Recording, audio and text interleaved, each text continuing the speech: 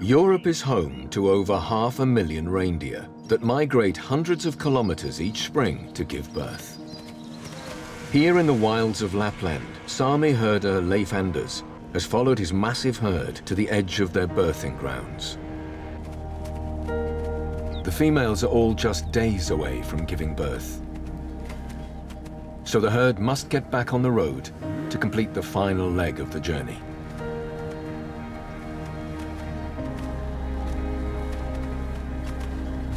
The reindeer's innate migratory instinct gets things moving at first light.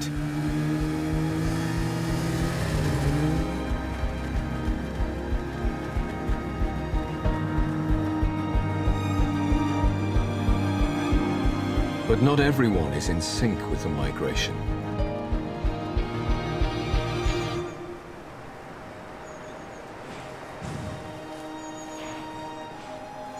The reindeer aim to give birth at the end of the migration.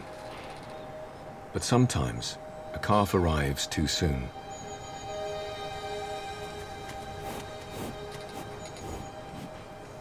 Born just a few days too early, this calf has been abandoned. Its mother's instinct to continue the migration was just too great.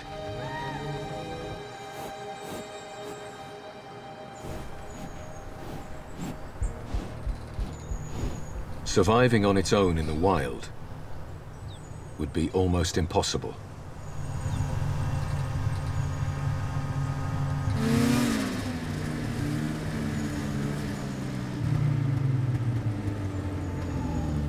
Fortunately, the newborn reindeer is given a second chance.